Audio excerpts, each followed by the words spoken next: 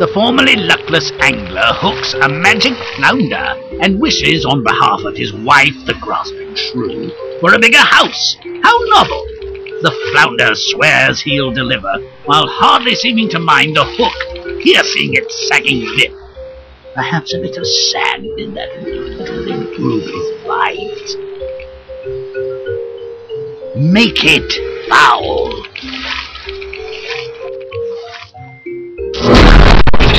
Let's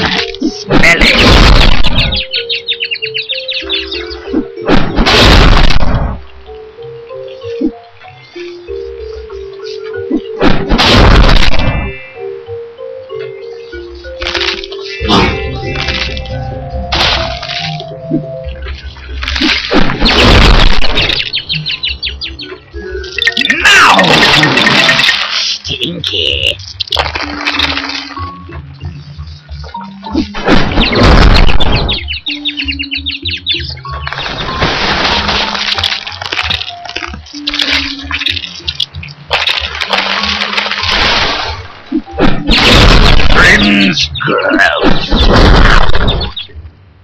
Ah! Scaring me, fish!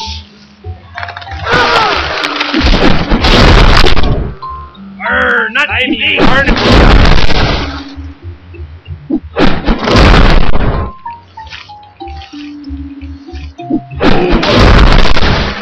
Arr. Oh, you let Arr, you gotta Not your scaring me, fish!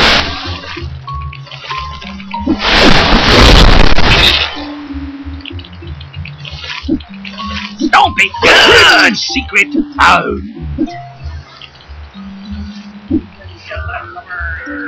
me!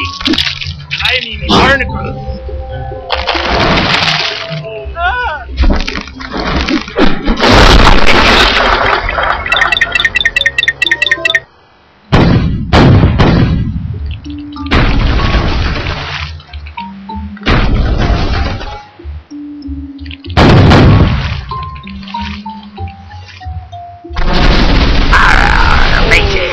made a go boom.